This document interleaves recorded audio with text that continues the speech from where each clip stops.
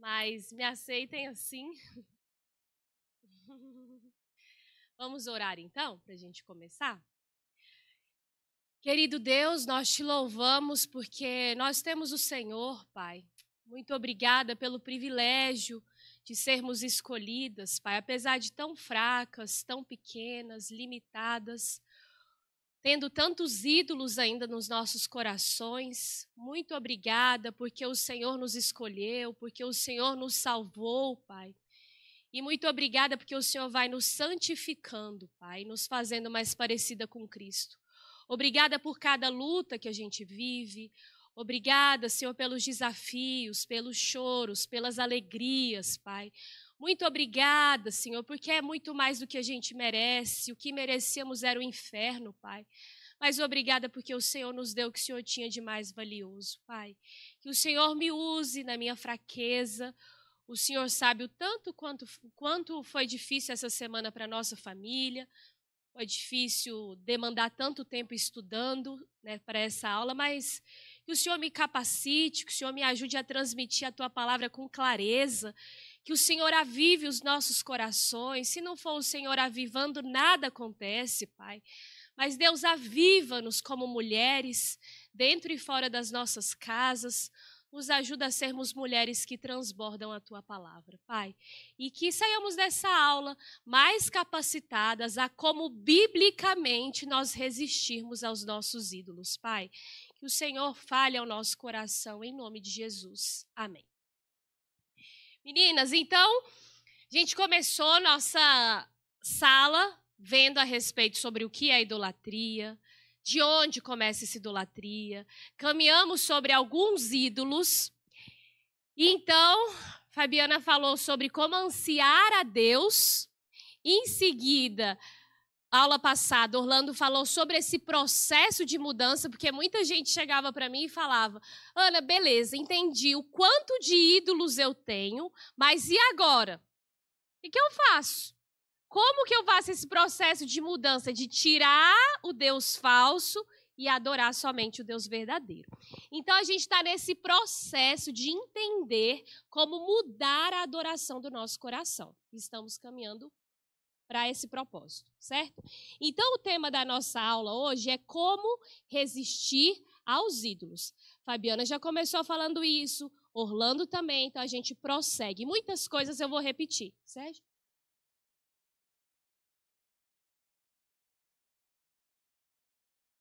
Já anunciou, mas eu acho que não é daqui, não. Obrigada.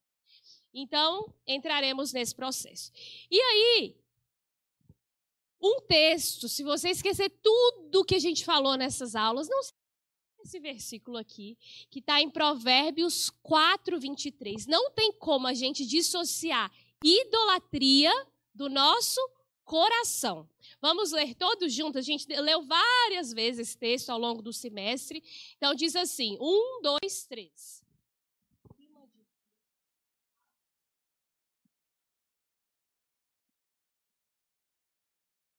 Isso mesmo. Então, da onde que emana tudo que a gente faz, pensa, deseja, de onde? Do coração. Eu não falo as coisas, ah, porque saiu da minha boca. Não, tudo veio da raiz, que é o meu coração. Não adianta eu querer mudar um comportamento e pensar, por exemplo, muitas vezes nesse processo de destronar um ídolo, a gente pensa assim, tá, eu sou uma pessoa medrosa. E o medo, segundo as escrituras, é um pecado, é o desconfiar do cuidado desse Deus. E quando a gente começa a cavar o medo, o medo ele tem muitas raízes que revelam pecados possíveis. Não adianta eu pensar assim, então tá, a partir de hoje não tenho mais medo, você é uma pessoa super corajosa, quando eu ficar com medo eu vou fazer isso. Não, não é sobre isso. Porque o meu medo, ele só é um fruto da minha árvore, ele está revelando coisas profundas da raiz do meu coração. E aí, a gente, como que eu vou descobrir o que está na raiz que gera o fruto do medo? Escutando a pessoa. Cada uma, como eu, terão raízes, muitas vezes ali diferentes, que geram o medo. Então a gente não trata idolatria mudando comportamento. Pode até mudar por um tempo, mas não é uma mudança permanente. A gente precisa mudar o coração. Mudar o coração é algo extremamente difícil. Eu não dou conta, mas a gente tem um Deus que muda coração. É isso que ele fez ao longo da história, ele é o mesmo e ele permanece fazendo, certo? Então, beleza. E eu já falei várias vezes também sobre isso daqui ao longo das minhas aulas, mas eu gostaria de recapitular sobre a caminhada cristã. Estávamos ali mortas, completamente segundo a Bíblia, e todo mundo que não creu em Cristo Jesus ainda está morto espiritualmente. Não tem como eu esperar de uma pessoa morta agir como Cristo, ela está morta. A pessoa morta, a gente abraça, a gente beija, a gente cheira, a gente pode levar a comida preferida dela. Ela não levanta, porque ela está sem vida. E nós estávamos sem vida espiritual. Mas Cristo entrou na nossa história. Quando a gente creu em Cristo, aí o segundo lugarzinho, a salvação. E aí, já pensando no nosso tema e lendo um livro, ele diz assim: que a salvação é como uma cirurgia, um transplante do coração. Quando esse transplante de coração, Cristo muda o nosso coração, agora é possível a gente amar da maneira correta, amarmos a Deus, amarmos o nosso próximo acima de nós mesmos. Se não for esse transplante de coração acontecendo, nada acontece. Continuamos mortas nos nossos delitos e pecados. E aí, queridos, quando a gente pensa numa cirurgia, pensa aí, uma cirurgia de coração. Troquei o coração de alguém. Depois da cirurgia, fecho os pontos lá e eu levanto. Tchau, galera. Tchau, equipe médica. Muito obrigada. Não.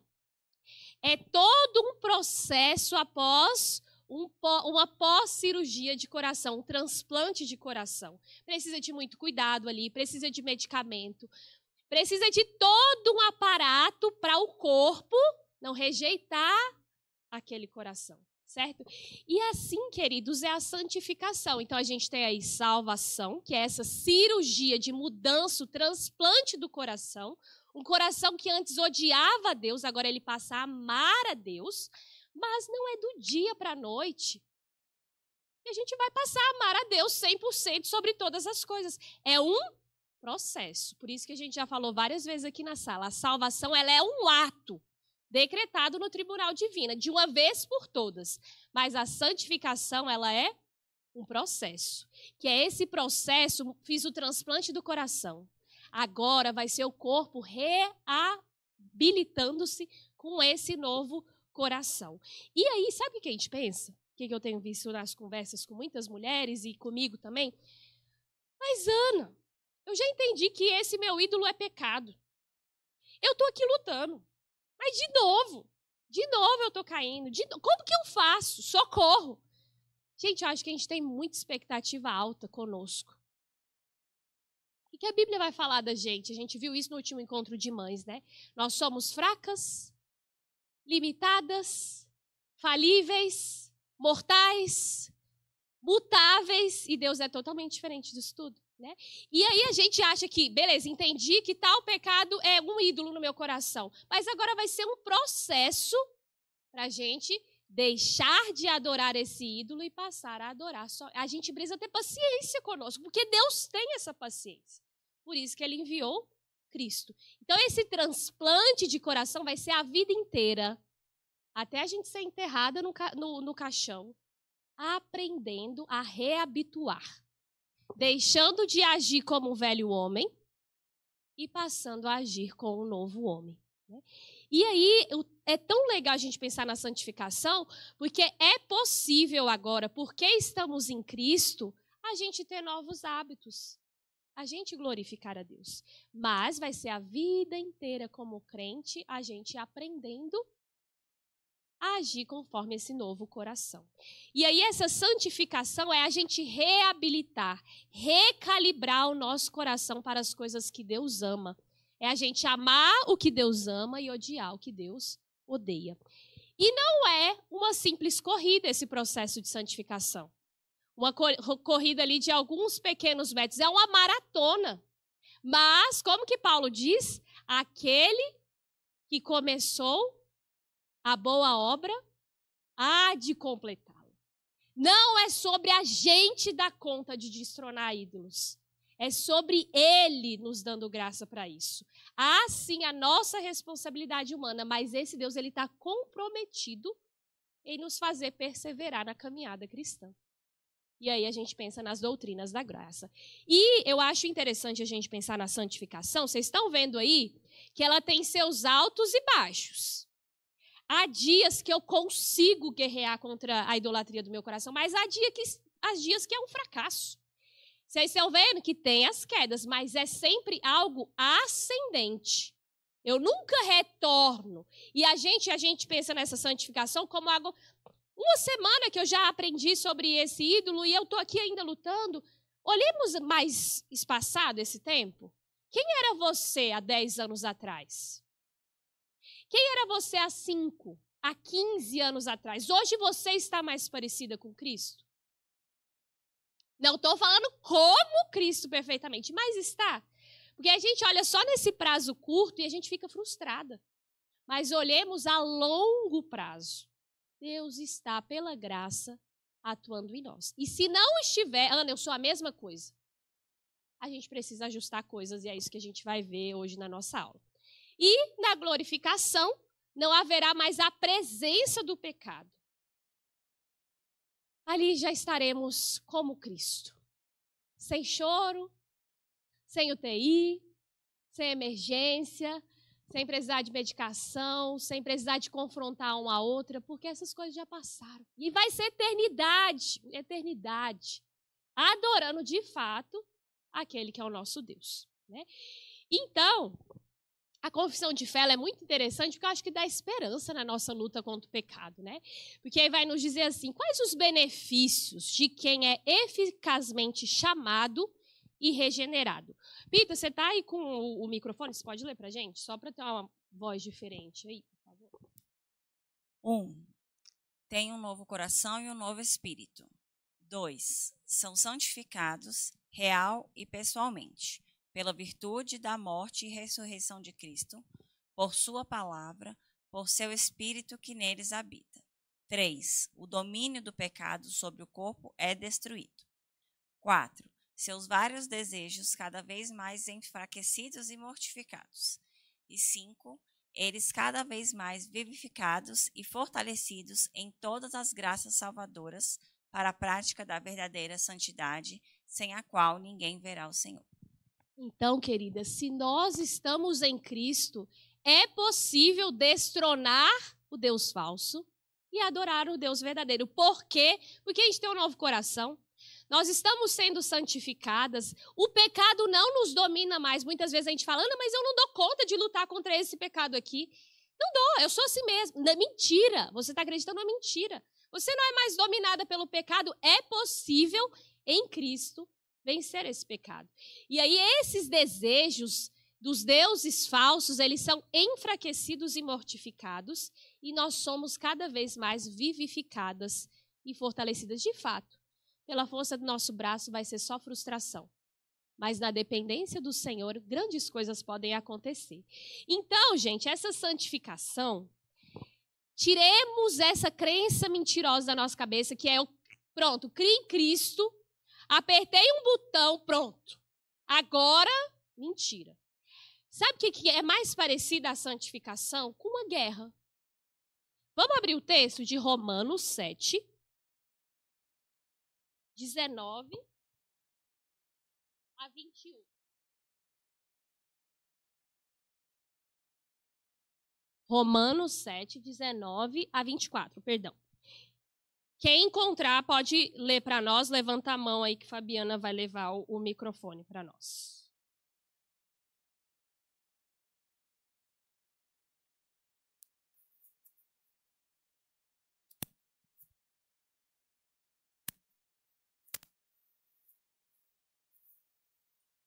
porque não faço o bem que prefiro, mas o mal que não quero, esse faço. Mas se eu faço o que não quero, já não sou eu quem o faz, e sim o pecado que habita em mim. Então, ao querer fazer o bem, encontro a lei de que o mal reside em mim. Porque, no tocante ao homem interior, tenho prazer na lei de Deus, mas vejo nos meus membros outra lei que, guerreando contra a lei da minha mente, me faz prisioneiro da lei do pecado que está nos meus membros. Desventurado homem que sou, quem me livrará do corpo desta morte? E aí o 25 eu não coloquei, mas é a nossa esperança, né? Graças a Deus por Jesus Cristo, nosso Senhor. Então, queridos, a santificação, a vida cristã é essa guerra. Todo dia, quando eu levanto da cama, é guerra. E se a gente não pensa no porquê guerrear todo dia, é mais fácil não ser crente. Não é mais fácil? Mas por que, que eu guerreio? Porque é na guerra, na minha morte, que a gente tem vida. Quando eu decido viver para os ídolos do meu coração, eu, parece que eu vou ter a verdadeira alegria. Mas vai ser só destruição. Mas quando eu estou nessa guerra com o poder do Senhor Jesus, nós vamos experimentando. É, é louco, né, ser crente? É muito contracultural. Quando a gente olha as bem-aventuranças, você vê lá, quem que é feliz? O pobre de espírito, aquele que chora. Chorar? Na nossa cultura, ser feliz é ser rir, né? Chorar, lutas. Ser crente é totalmente contracultural. É essa guerra. Né? Mas tem prazo para a guerra acabar. Porque o ímpio acha que está agora vivendo perfeitamente, mas vai ser uma eternidade de sofrimento. E nós estamos vivendo lutas aqui diariamente, mortificando a nossa carne. Mas vai ser uma eternidade gozando aquele que é a verdadeira alegria. Né? Então, esse é o processo de santificação. Ana, mas eu ainda estou lutando. Quanto tempo lutando com o mesmo? É isso mesmo. É a vida cristã, mas segue firme. Deus vai dando graça. Olhe por mais tempo a sua santificação, daqui cinco anos, daqui dez anos, e o Senhor vai nos conformando à imagem de Jesus. E uma das formas dele nos conformar mais à imagem de Jesus é pelas lutas. Então, Deus, obrigada pelas lutas, porque é nelas que a gente vai também se conformando à imagem de Jesus. E outra coisa que eu vejo também, que algumas entram em pane aí, meio estandido, que a gente foi descobrindo ao longo do semestre, que tem uma lacuna entre o que a gente sabe, mas o que eu faço. O que, que eu já sei de tudo isso, mas eu continuo ainda agindo de forma diferente? Por exemplo, eu sei que Deus é soberano. Mas quando as lutas vêm, os medos, as diversidades vêm, por que, que eu fico com medo, fico ansiosa, fico de determinadas coisas? Por que, que eu tenho dificuldade em crer na soberania de Deus, mesmo sabendo que Deus controla tudo? E aí, a gente vai ficando frustrada. E é um livro que eu li, que eu vou indicar no final, que me ajudou bastante nessa para montar essa aula, né? Que muitas vezes a gente associa nós como seres meramente pensantes. Então tá, então só vou acrescentar conhecimento intelectual aqui, pronto, agora eu vou ser diferente. Não vou mais lutar com esse tanto de ídolo. E não, nós somos seres muito mais do que isso, muito mais do que intelecto. O que, que precisa acontecer na nossa vida para que o que eu sei fazer ser mostrado naquilo que eu faço? E aí o, li o livro vai nos estimular que não é mero conhecimento que produz santidade. Não é só saber o tanto de informação que vocês foram acrescentando ao longo do semestre na cabeça. É sobre algo muito maior. E aí nós vamos ver que o autor ele vai defender como que eu mudo, Ana? O que eu aprendi ao longo de todo o semestre e agora revelar isso dentro de casa, no meu trabalho, no trânsito, na igreja, o que, que eu tenho que fazer? E aí o autor ele vai defender nesse livro que é o poder do hábito. Como assim, Ana? O que, que você está querendo falar? E ele vai abordar que, queridos, queridas, nós somos seres humanos que amamos. O que, que a gente falou? Que a idolatria ela sempre brota de onde? Do coração. Se eu não mudar o coração, nada acontece. Eu vou continuar frustrada certo? E aí é, ele vai defender no livro que a gente sempre ama algo. Por exemplo, quando eu é, começo a viver para ter uma vida estável financeiramente. Quem que de fato eu posso estar amando? ali no meu coração? É a Deus? É errado buscar estabilidade? Não.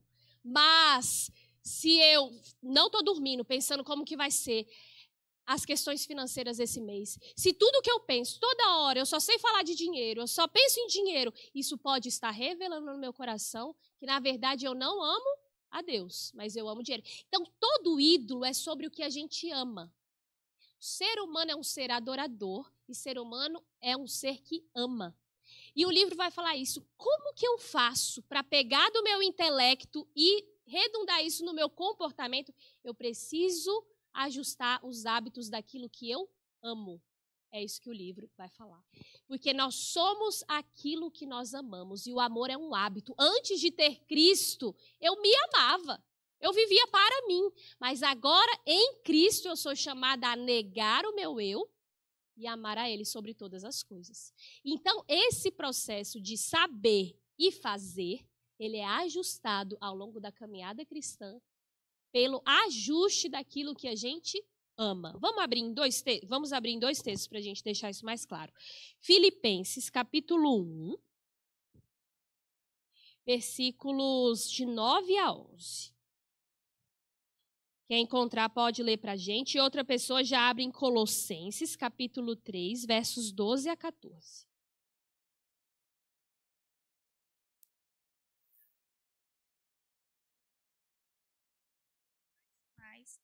Conhecimento e toda percepção, para provardes as coisas excelentes e serdes sinceros e inculpáveis para o dia de Cristo, cheios do fruto de justiça, o qual é mediante Jesus Cristo para a glória e louvor de Deus.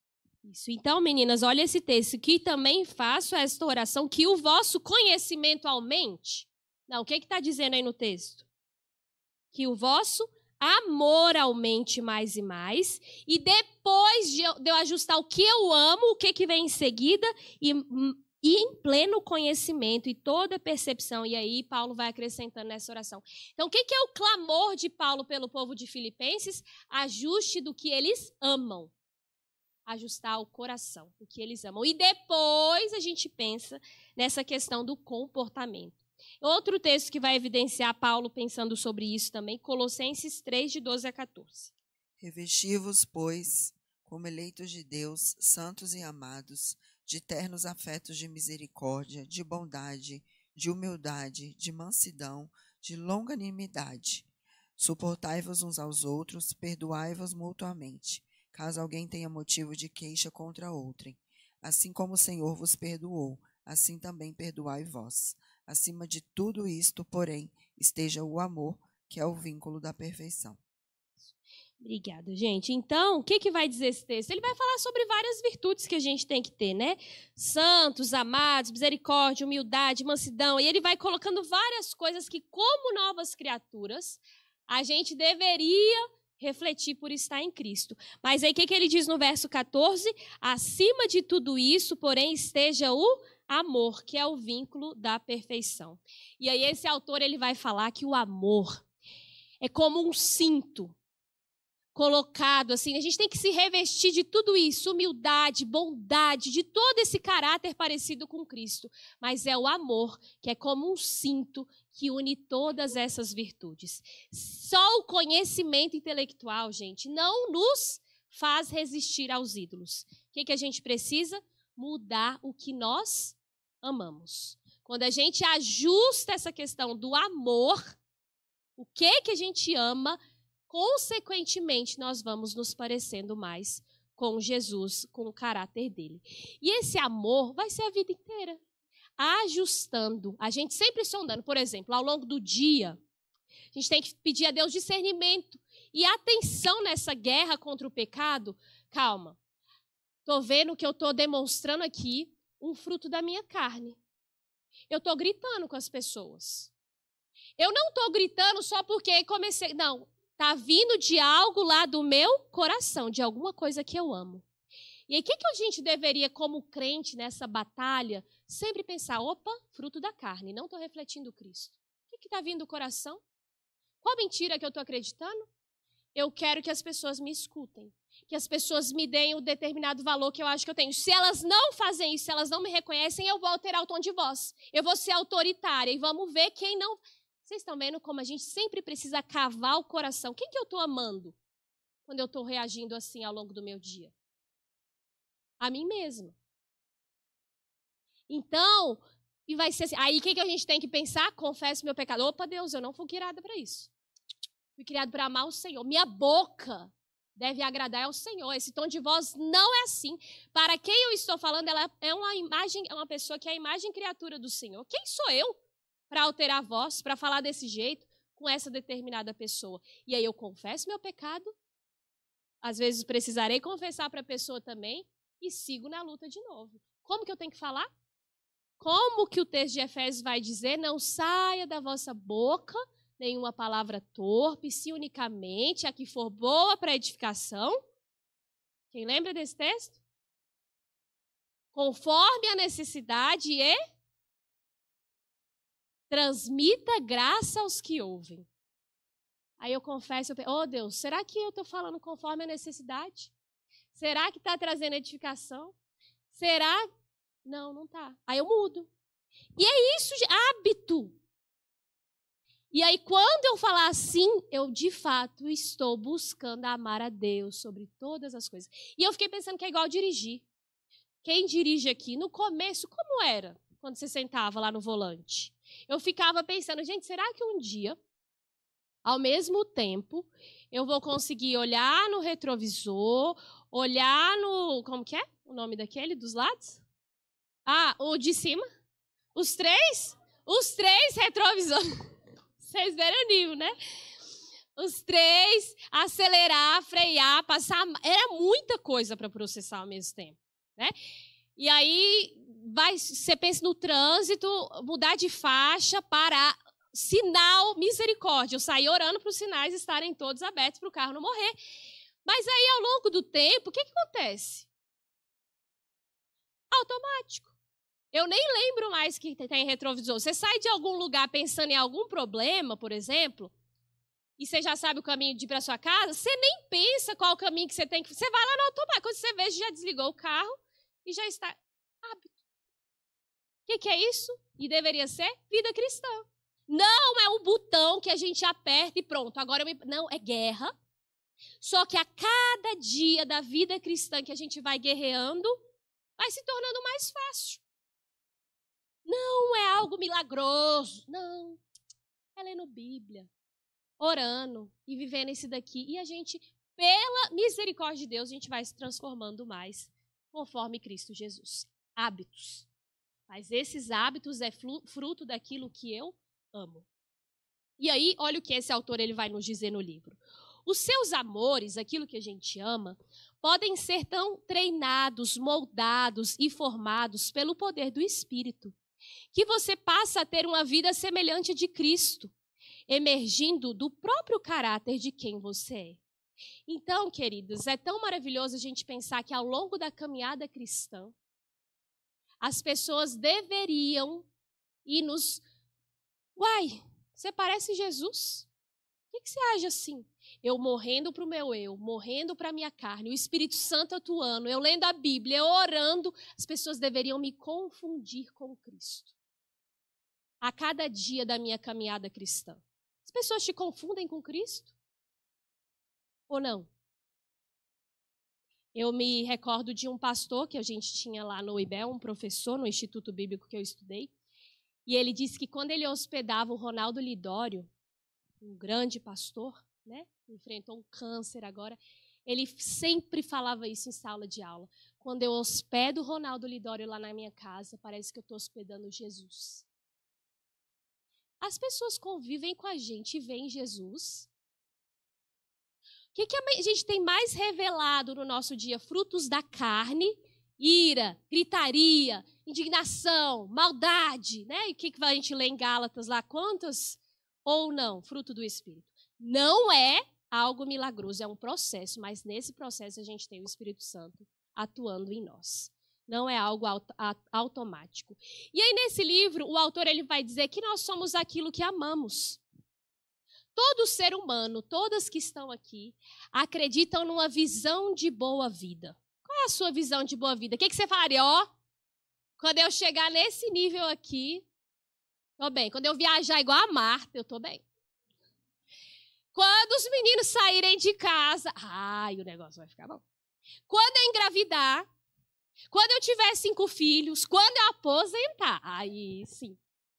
Quando ninguém me incomodar ao longo do dia, eu ficar deitado o dia inteiro lendo meus livros nessa rede. O que a gente fala que a visão de boa vida que a gente tem é chegar no céu. Mas, irmãs, pensa aí. O que, que é a visão de boa vida para você? Eu é de fato, numa rede lendo 3 mil livros. Pronto. Ó, ausência de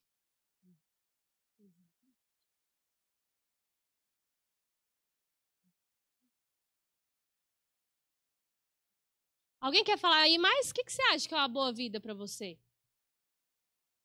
Ó. Oh. Ah, isso é ótimo. Comer e não engordar. Quem quer?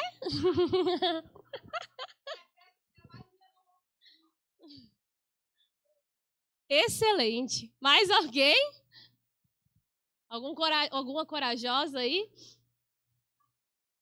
Oi, irmã. Amém. Ó, oh, uma senhora ali atrás. Saúde. É verdade, é verdade. Então vocês estão vendo? E é errado essas coisas? De jeito nenhum. Mas por que quando Deus vem e tira a saúde, por exemplo, a gente perde o chão?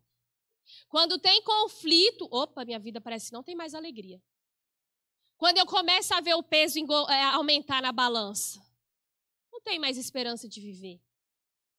Né? Então, vocês estão vendo como a gente fala do, do céu, das trombetas, mas que, que a nossa vida está tá revelando sobre o que de fato é uma vida boa? O que, qual o reino que eu anseio? O que eu defini lá como reino ou o que de fato o Senhor anseia. E aí é inconsciente, vocês estão vendo essas coisas, não é algo que eu fico, não. Porque a gente vai admirando coisas. Esse autor ele vai comentar sobre o mundo do shopping. Gente, é super legal quando ele fala lá, quando a gente entra num shopping. Todo shopping, a ornamentação dele é para a gente entrar naquele mundo. Vocês já viram que a gente muitas vezes não vê a luz do dia, as vitrines, ele vai falando sobre as pilastras. Ali é sobre o que a gente ama. E a gente começa a ver as vitrines e pensa: meu Deus, eu não tenho aquele vestido. E o cheiro, é tudo agradável. Ele vai falando que ali é um momento da gente, de fato, mostrar o que a gente. É errado ir no shopping? É errado? Não!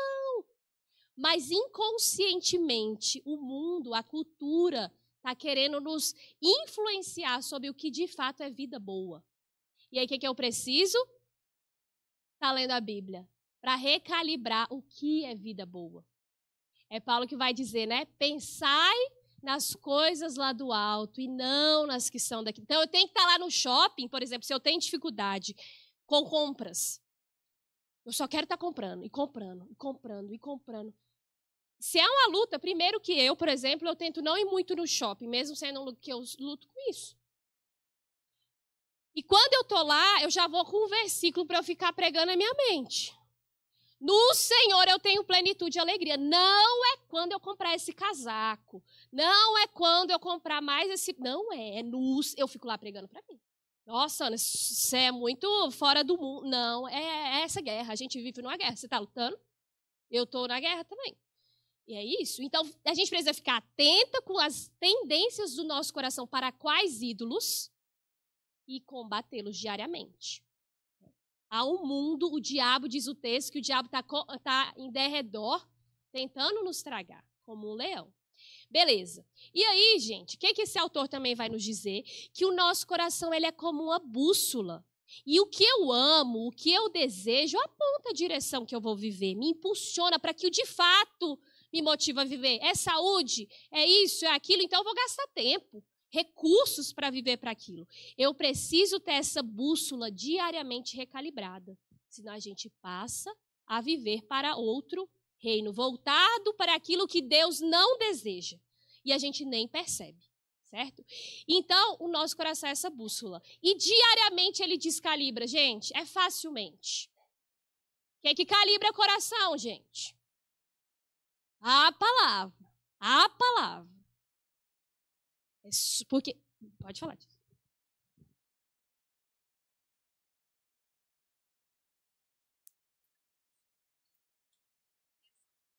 Né? Porque se depender de nós mesmos, nós não temos condições.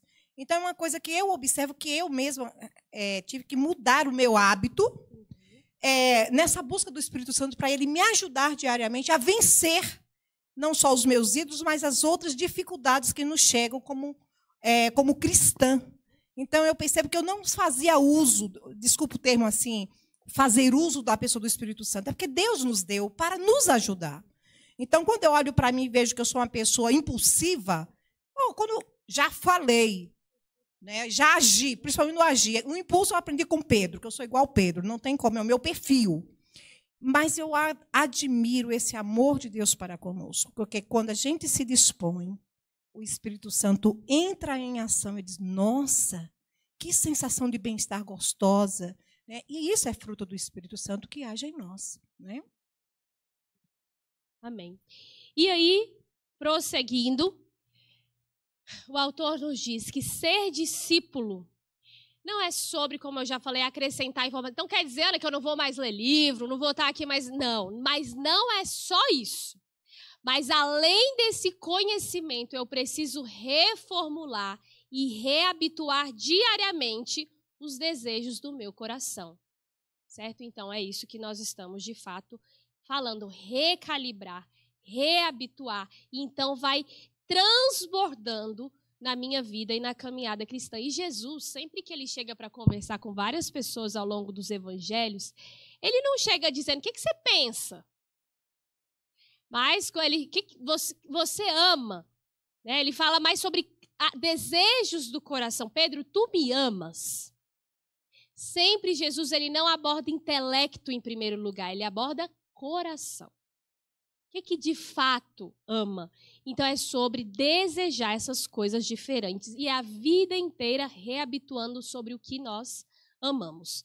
E esse autor ele vai nos dizer que resistir os ídolos tem mais a ver com redirecionar o que a gente ama, reorientar os nossos desejos a Deus e aquilo que ele de fato deseja para a sua criação. Gente, diariamente, incansavelmente, os ídolos, os deuses falsos, estão tentando fazer com que a gente viva para eles. Instagram, é, outdoors, é, celular, televisão, tudo. As pessoas que a gente convive que não estão aqui nessa guerra, todo mundo está querendo que a gente. É isso é vida boa. Vivam para isso daqui. Mas incansavelmente nós temos que lutar contrário a isso tudo certo? E aí ele vai falar que esses nossos desejos, eles são aprendidos por meio da imitação de exemplo, vivendo em comunidade, imitando a Cristo e praticando. Quanto mais eu pratico, mais eu pratico em viver conforme Jesus, mais eu vou me tornando mais semelhante a Cristo no poder do Espírito Santo. Então, ele vai falar sobre isso daqui, que aprender a amar necessita de prática. Resistiremos a ídolos quando a gente ajustar isso e praticar, e praticar até o final da vida. Ana, por que praticar desse tanto?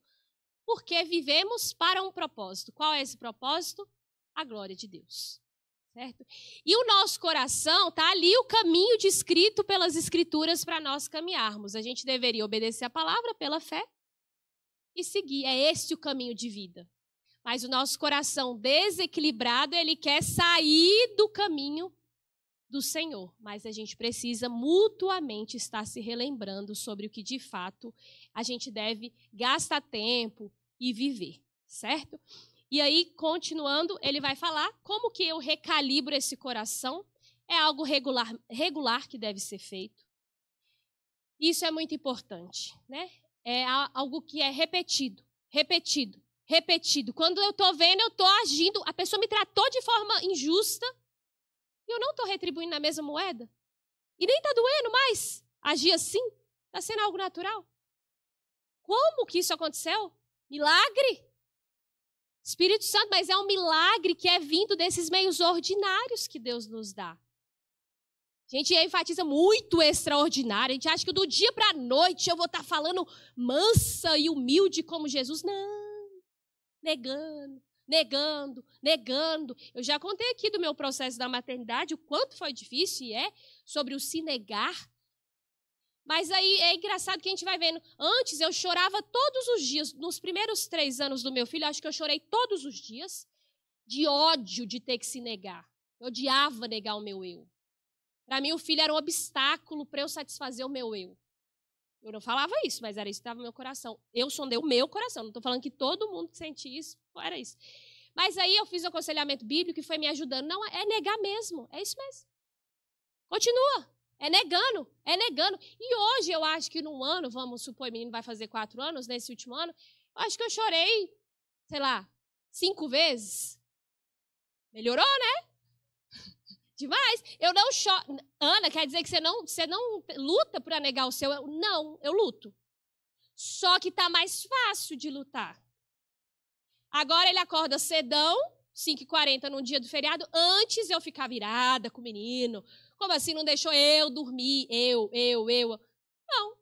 Vamos lá, é negar. É isso mesmo. Você está vendo o evangelho. Você não vive para você, você é servo. E eu começo a me pregar. E às vezes é as mesmas coisas que eu estou me pregando. E é isso que Jesus diz. E vai pela fé. Deus me dá fé, me ajuda. E vamos. Aí eu vou encher na minha cabeça de Bíblia. E, e aí vai ficando mais fácil. Então a gente coloca que a santificação é esse negócio. Oh, não, é guerra. Mas aí vai se tornando normal. Quais pecados você luta? Você já parou para ver como Orlando pegou semana passada os textos bíblicos que falam a respeito desse pecado? O que o seu pecado está revelando sobre o que você ama? Quanto você está confessando a Deus sobre essa idolatria? Você crê que a cruz te dá poder para vencer esses ídolos?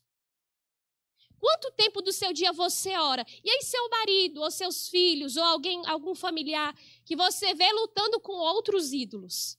Você tenta ficar falando?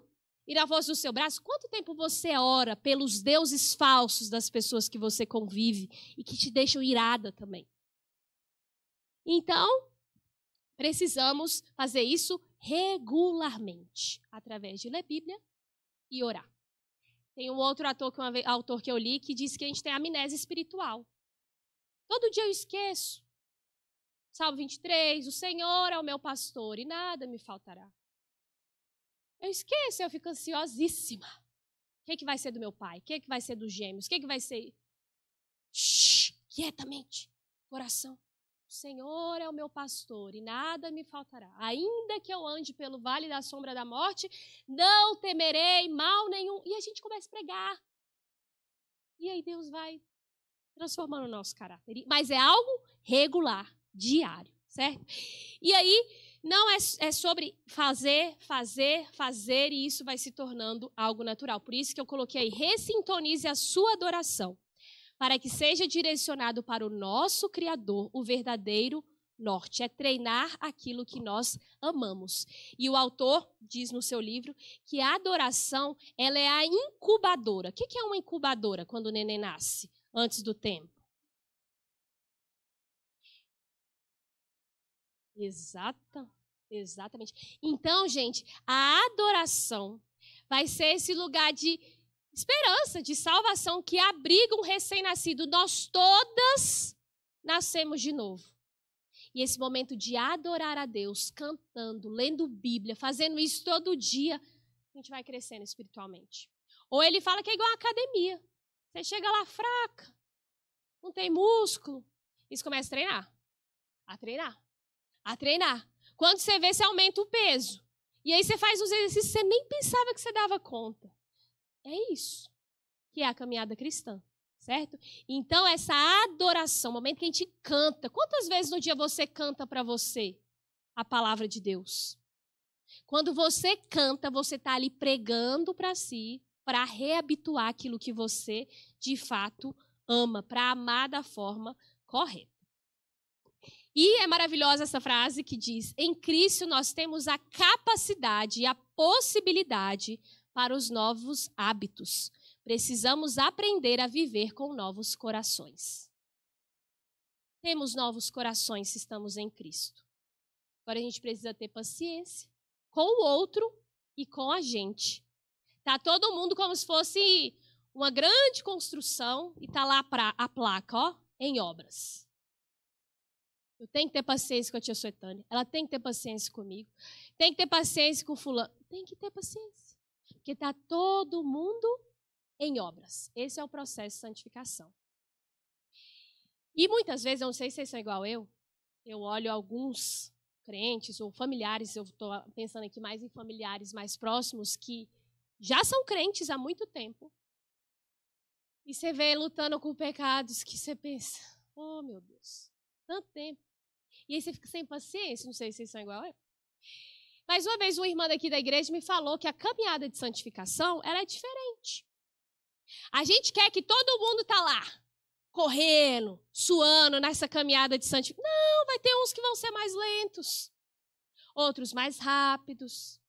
Mas todos são salvos em Cristo Jesus. Lembrem-se do ladrão da cruz. Hoje mesmo estarás comigo. Ele não teve tempo de se parecer, de se conformar com Jesus. Todos são salvos. Então tenhamos paciência conosco. E quer dizer que eu vou compactuar com o pecado? Não. Mas eu vou guerrear mais, entender o quanto eu dependo do Espírito Santo. Mas há essa capacidade e possibilidade de a gente deixar o Deus falso e adorar o Deus verdadeiro. E aqui, gente, quais motivações para resistir aos ídolos? Vou pedir para alguém abrir em Jó 40, 3 e 4. E outra pessoa em Isaías 6. Versos de 1 a 3, 6 e 7. Então, a primeira motivação para a gente resistir aos ídolos é que Deus é santo. Quem pode ler para nós? Levanta a mão aí para o microfone chegar até você. Jó 40, versículos 13 e 4. A resposta humilde de Jó. Então Jó respondeu ao Senhor e disse: Sou indigno.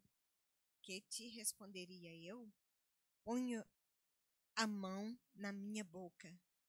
Uma vez falei e não replicarei. Aliás, duas vezes, porém não prosseguirei. Isaías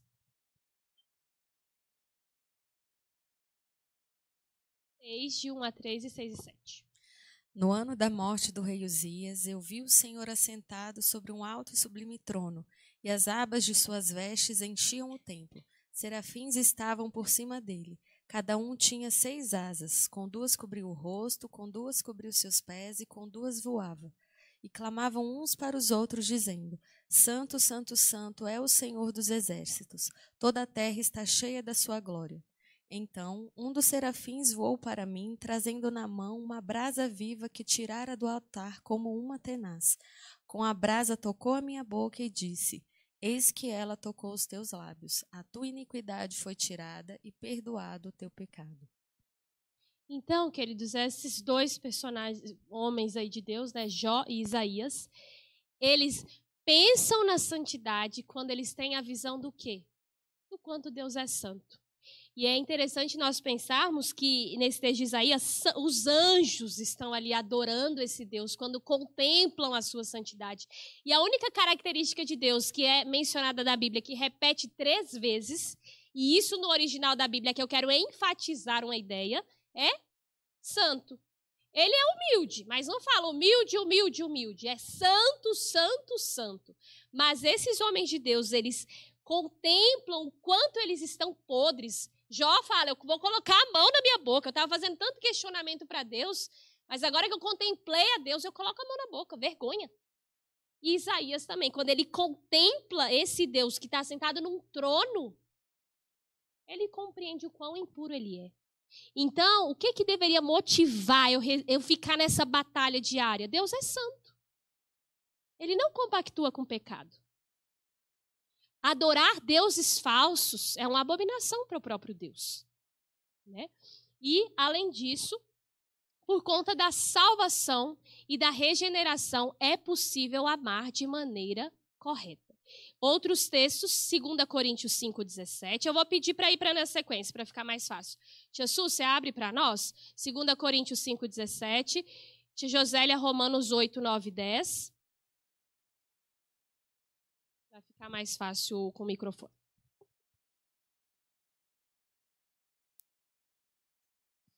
E quem não for ler pode abrir os textos também, porque a única parte inerrante da Bíblia, de fato, é a leitura do texto. Então, vocês olhem aí o texto, que esse negócio transforma nosso coração. 2 Coríntios 5,17. Diz assim: E assim, se alguém está em Cristo, é nova criatura. As coisas antigas já passaram, eis que se fizeram novas. Romanos 8, 9 e 10. Vós, porém, não estáis na carne, mas no Espírito, se de fato o Espírito de Deus habita em vós.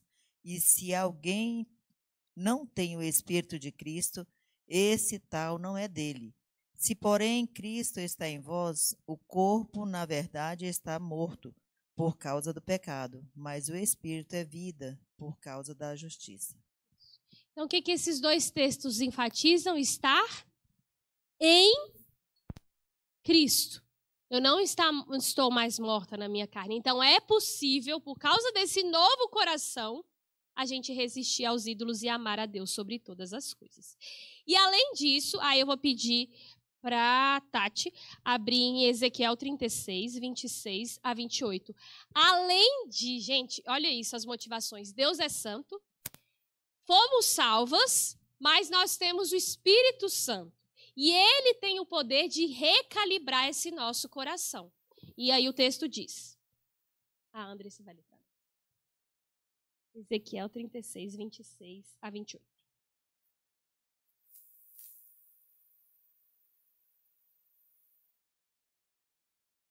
Dar-vos-ei coração novo, e porei dentro de vós espírito novo.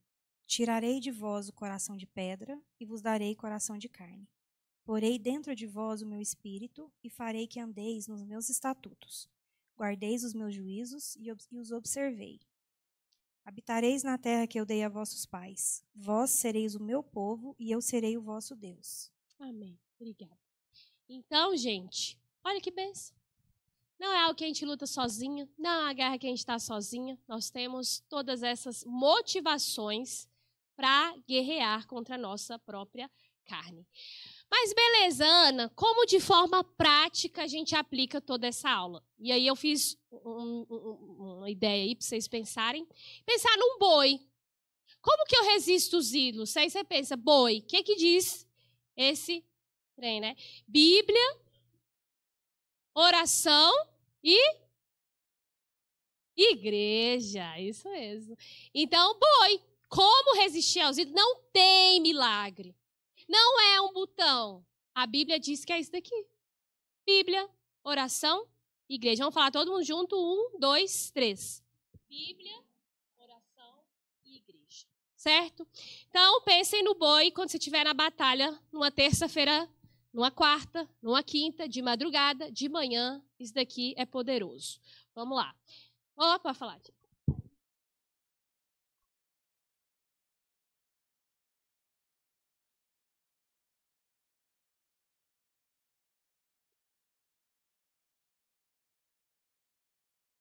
Isso mesmo. É a nossa responsabilidade, né?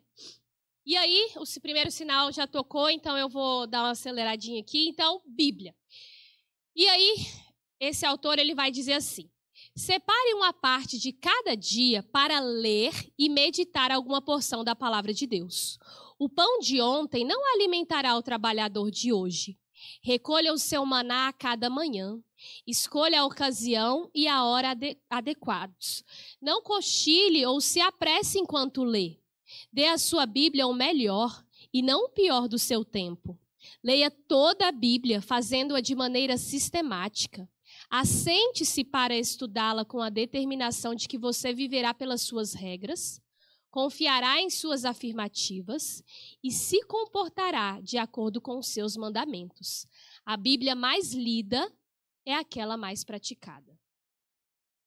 Então, separemos, tenhamos essa nossa responsabilidade humana de quanto tempo você separa para ler a Bíblia. É no dia que dá, e a gente falou disso ao longo de todo o semestre. E cada dia, algo diário. Mas uma palavra que eu acho interessante a gente pensar aqui sobre meditar. A gente só lê o texto e segue a vida. Ruminar, igual pensa no boi, pensou no boi que a gente acabou de ver ali, ele rumina. Para eu digerir os nutrientes de um alimento, não adianta só eu colocar esse negócio na boca e isso, pronto, agora já. Não. Eu preciso mastigar, e isso passa por todo o processo digestivo, lentamente, para eu absorver os nutrientes. Deveria ser assim com a palavra de Deus. Meditar na Bíblia. Não é uma gaveta, a hora do devocional, que eu abro, leio a Bíblia e fecho. Meio-dia, no sol quente, você está pensando naquele texto que você leu? O que, que aquele texto se aplica para o seu dia? É assim que a gente vai lutando e recalibrando o coração. E vou ter que passar mais rápido por esse texto, mas o que, que nós vemos, né? Romanos 8,13. Pois se vocês viverem de acordo com a carne, morrerão. Mas viverão se pelo Espírito fizerem morrer os atos do vosso corpo, do corpo. Então, queridos, essas questões aí eu vou fazer morrer todo dia a minha carne, os meus desejos. E quando eu morro para minha carne, de fato, eu vou ter essa vida. E nós temos promessa aí, que ele vai dizer que quando a gente mortifica a nossa carne, a gente tem vida. Há uma promessa, certo?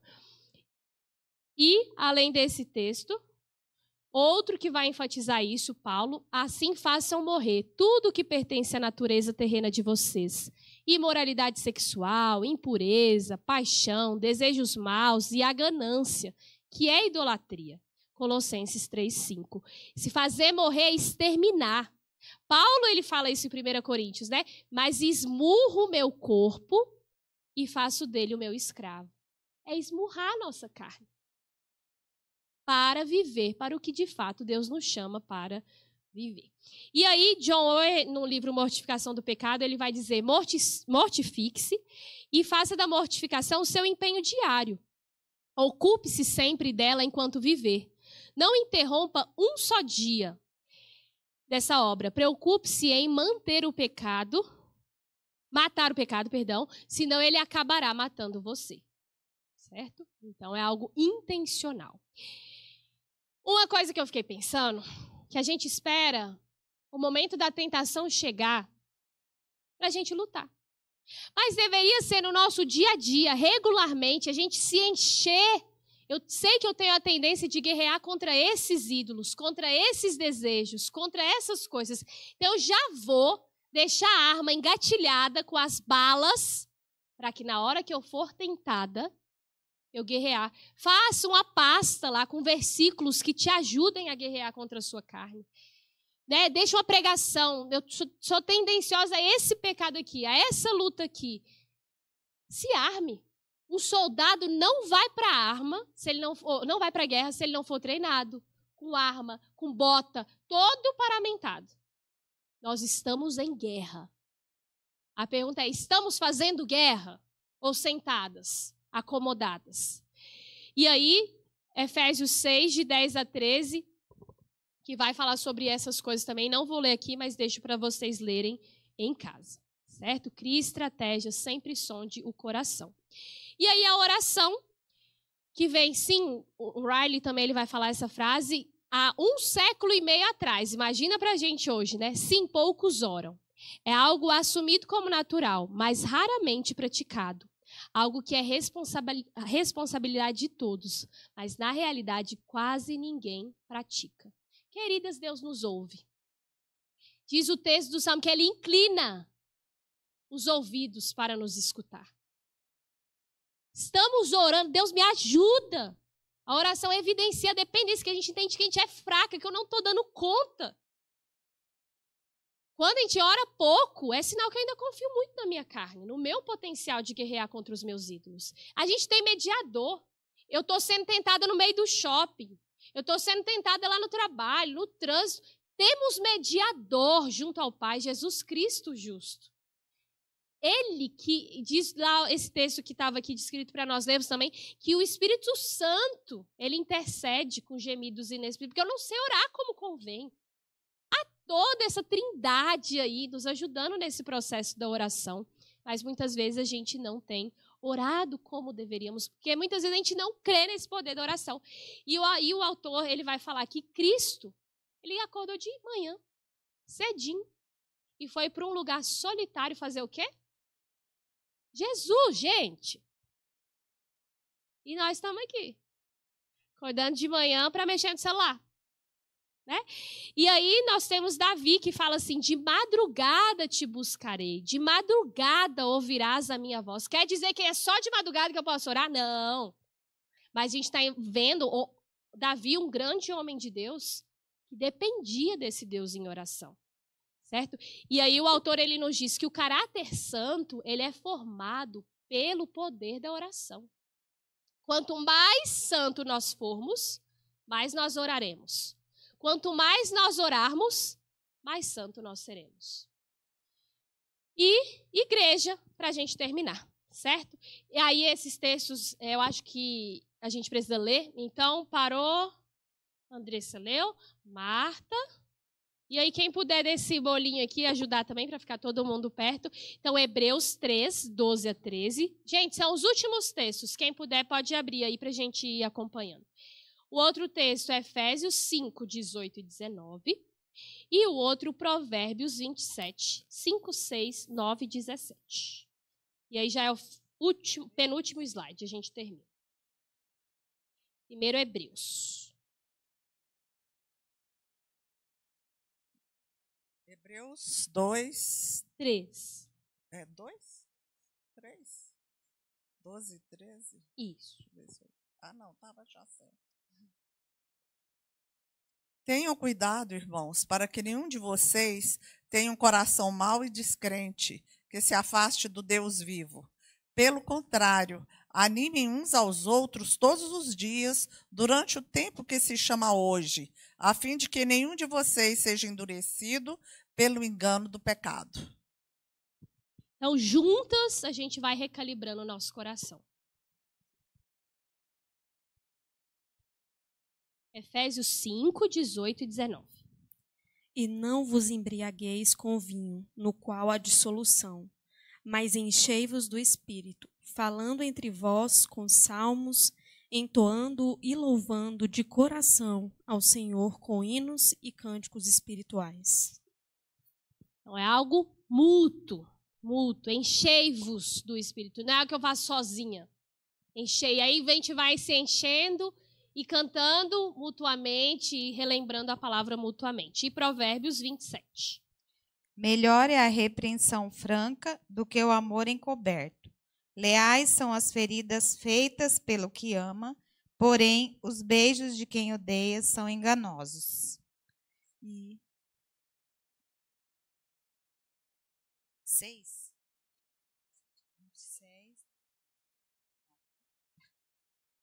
Como óleo e o perfume alegram o coração, assim o amigo encontra doçura no conselho cordial. 17. Como o ferro com o ferro se afia, assim o homem ao seu amigo. Amém. Então, queridos, nós seremos instrumentos afiados que refletem o caráter de Jesus quando a gente mutuamente se afiar. A faca, ela fica afiada sozinha. Não, eu preciso de outro afiando. Eu vou aprender a resistir, recalibrar esse meu coração, a amar de fato que Deus ama, e vai ser mais fácil quando mutuamente a gente sentar. Carol, será que você está de fato amando a Deus sobre todas as coisas quando você está agindo assim? Só que a gente só quer chegar e falar a verdade. A gente não quer conviver, construir pontes. Para que a gente possa confrontar o outro na hora certa, encorajar na hora certa, chorar com ele na hora certa. E o texto vai dizer isso, né? O texto bíblico, para que a gente possa consolar os desanimados, amparar os fracos, confrontar aqueles que estão precisando ser confrontados, mas eu só vou saber o que, que meu irmão está precisando se eu conviver. Se eu for igreja, igreja não é a gente entrar aqui de manhã e de noite e sair. Ser igreja é o que eu estou experimentando com a minha família ao longo desses dias, né? Meninas daqui que ficaram a madrugada com a minha irmã no, no hospital, com, com um dos gêmeos lá internado. É gente ligando, posso ficar com as crianças hoje, levando um parquinho. É- Isso é ser igreja. É eu estar desanimada e no dia eu não quero ser confrontado demais, eu quero chorar. Que eu tô tá doendo. E tem gente para chorar. Tem gente que fez escala aqui para chorar com a irmã da igreja. Chorar. E isso é se, se alegrar. É dia de. Vamos se alegrar também. Isso é ser igreja. E facilmente o meu coração quer pender, quer descalibrar, quer acreditar nas coisas que o mundo acredita. E a gente precisa disso daqui, ó. Disso.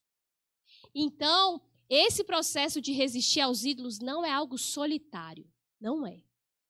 Se você está vivendo de forma solitária, ou como família, ou individualmente, é um chamado hoje. Venha resistir aos seus ídolos em conjunto. Às vezes você não vai ser amiga de todos, né? Intimidade com todos.